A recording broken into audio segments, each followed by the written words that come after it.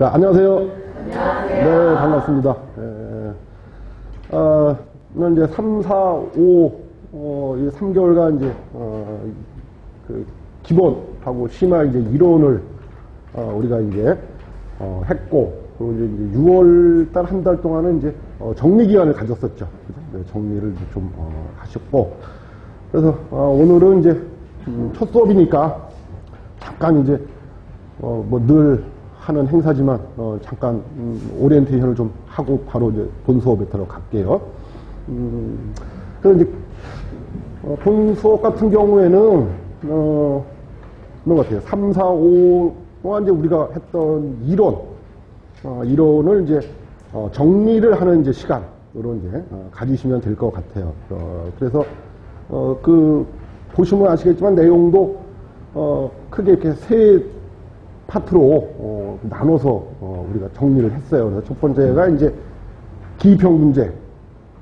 어, 많이들 뭐 풀어보셨을 거니까 예, 기평 문제고 그 다음에 이제 어, 두 번째가 이제 뭐 두 번째 세 번째가 다 이제 서술 형태인데 어, 그래도 또 나눠서 어, 두 번째는 이제 뭐 기본이라고 어, 해갖고 좀 뭐 우리가 이제 이론 수업을 통해서 또는 이제 뭐 어, 선생님들 이제 나름대로 정리하셨던 거를 이제 어, 바탕으로 해서 이제 수업을 이제 어, 정리를 이제 어, 할 거고 그 다음에 이제 어, 심화 어, 서술 문제 같은 경우는 이제 어, 예측 문제들 어, 뭐뭐를 뭐 예측해봐라 뭐 어떻게 될 건지 예, 상을 해봐라 뭐 하는 어, 그런 이제 예측 문제들이 이제 뭐 구성이 되어 있어요. 그래서 어뭐 그 기출 문제들 다 풀어보셔서 아시겠지만 음, 가장 중요한 게 서술 형태에서 가장 중요한 게 그 출제자의 어, 의도, 어, 뭐를 의도를 하느냐 그거를 파악하는 게 이제 가장 중요한 것 같아요. 그래서 서술 형태의 문제에서는 어, 아마 어, 지금 우리 이제 같이 선생님들하고 같이 이제 수업하는 동안에 시간에 보면은 어, 주로 이제 어, 골격에 대한 얘기들을 이제 할 것 같아요.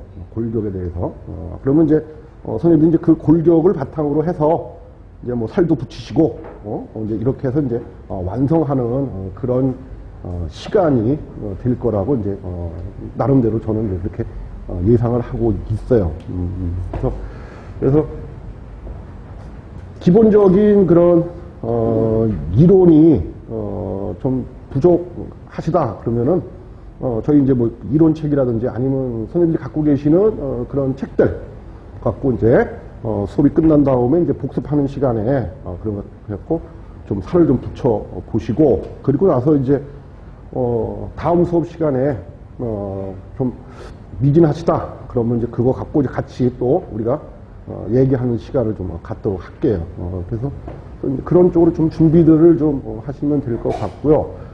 그리고 이제 끝으로 이제 당부의 말씀. 음, 우리가 이제 3, 4, 5월 달에는 이제 그냥 기본적으로 어, 저는 이제 그렇게 생각을 해요. 아, 그 선생님들 본인 자신과의 이제 싸움이다. 이렇게. 음, 3, 4, 5 그 기간 동안은.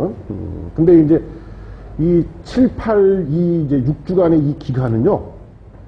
이게 본인과의 싸움에다가 또 뭐가 더해지느냐? 예. 날씨가 더 더해져요.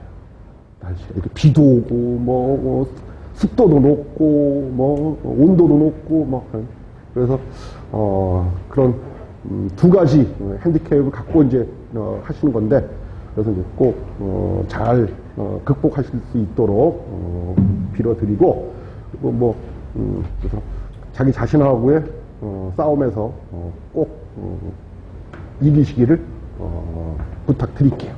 자, 그냥 바로 그냥 수업 들어가겠습니다.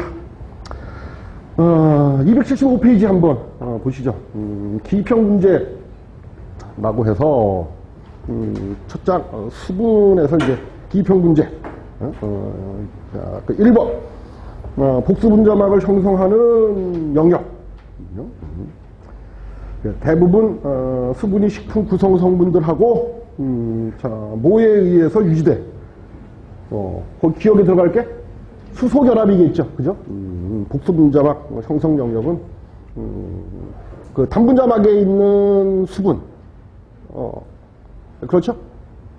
단분자막에 있는 수분이 있잖아. 이렇게 식품 성분이 이렇게 있으면요. 식품 성분 있으면 자 여기에 뭐 단분자막 같은 경우 여기 이제 뭐하고 하는 거예요. 주로 카르복실기나 또는 아미노기 같은 것들 그런 이제 이온기들하고 뭐가 이렇게 물 분자가 이렇게 이제